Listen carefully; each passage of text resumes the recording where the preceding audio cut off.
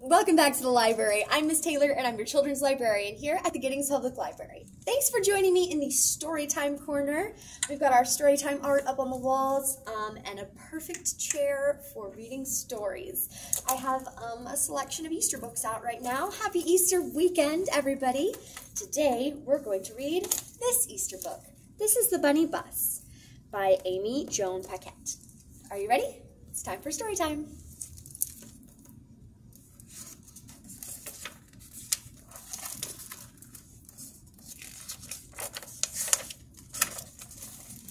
The Bunny Bus.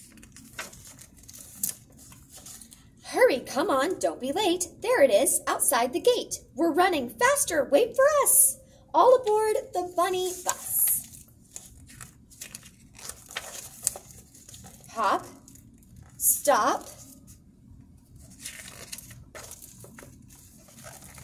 The bunny bus has room for you, your neighbors, friends, and cousins too. So jump up quick and wear your best. The bunny bus won't stop to rest. Hop, hop, stop.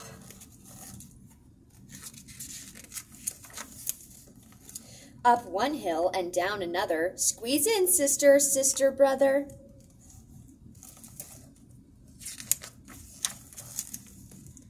Room for more? Of course, pile on. The bunny bus rolls on and on.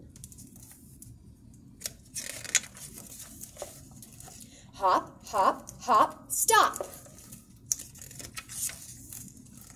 We're full to bursting on this bus, but more and more and more of us come squeezing in. We need more room, or else this bus just might go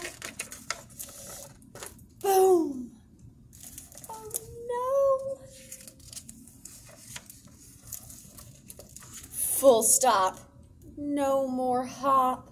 Oh no, bunny bus.